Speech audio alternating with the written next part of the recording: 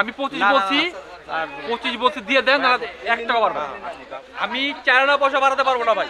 Last last এক লাখ পঁচিশ। একদম লাস্ট আমি ভাই এক কথা বলি গরু কিনে আমি দর্শক এই মুহূর্তে আমি আছি গাবতুলি গরুর হাটে দর্শক এই গরুটা কোরবানির জন্য গাবতলি হাটে দামাদামি হচ্ছে।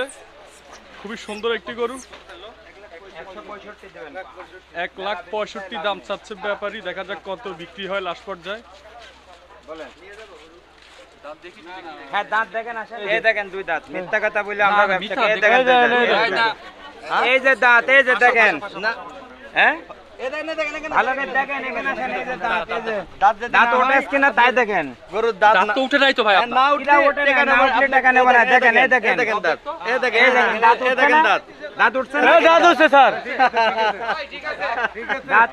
মানে কে?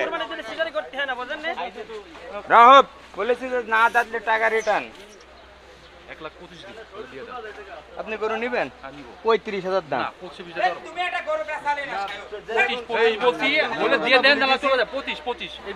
আমি আপনার ছোট কথা বলতেছি আমি পঁচিশ বলছি পঁচিশ বলছি দিয়ে দেন এক টাকা পারব এক লাখ পঁচিশ যাব না পঁচিশ দাম বলে দিছে।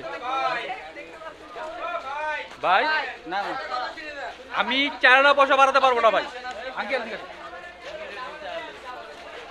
দাঁত ঠিক আছে তো? আমি বারো বারো একটা বাড়াতে পারব না এক লাখ পঁচিশ দিয়ে দেন গোটা নিয়ে যাব। দেন আপনার যা ভালো দেন। না বাড়াতে পারব না। এক লাখ পঁচিশ ভাই।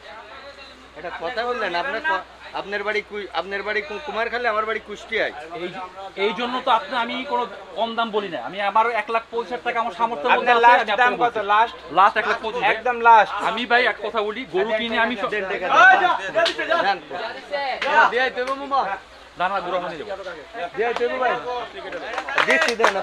পাঁচটা হাজার টাকা দেন না না এক লাখ পঁচিশ এক লাখ পঁচিশ। আসসালামু আলাইকুম। ওয়ালাইকুম আসসালাম। ভালো আছেন? জি আলহামদুলিল্লাহ। কোথা থেকে আসলেন গাবতলি হাটে? মণিপুর মিরপুর মণিপুর দুই নম্বর। আচ্ছা এসে কি এই গরুটাই দামাদামি করছেন না না আরও দেখছেন? আরেকটা করছিলাম ওটা এক লাখ পঁয়ত্রিশ পর্যন্ত বলছে। আচ্ছা দেয়নি। এটা শুরুতে আমরা ছিলাম দামাদামির সময়। এখন কত দিয়ে নিলেন? এক লাখ পঁচিশ। এক লাখ পঁচিশ। কি বুঝলেন গাবতলি হাটে এসে? এখানে গরুর দাম কেমন? আমার কাছে তো গরুর দাম ভালোই মনে হলো এক আমি এক লাখ পঁচিশ বললাম গরুটা দিয়ে দিল। গরুটা দিয়ে আপনাদের কেমন মনে হয় গরুটা? না মাসাল্লাহ গরু তো আলহামদুলিল্লাহ অনেক বড় গরু সুন্দর গরু। মানে আপনি বেশি দামাদামি করা লাগে না। এক কথায় গরু দিয়ে দিছি। জি জি জি আপনি আপনিও ভালো একটা দাম বলছেন ওনারও ওনাদের হয়তো কিছু লাভ হয়েছে দিয়ে দিচ্ছে জি জি জি। এক কথার মানুষ যেটা দেখে বুঝলাম। জি, জি। পালা গরু। আচ্ছা দর্শক এই মাত্র গাবতলি হাট থেকে এই গরুটা বিক্রি হয়ে গেল এক লাখ পঁচিশ হাজার টাকায়। মাসাল্লাহ অনেক সুন্দর একটি গরু বিক্রি হয়ে গেল এবং বড় একটি গরু বিক্রি হয়ে গেল।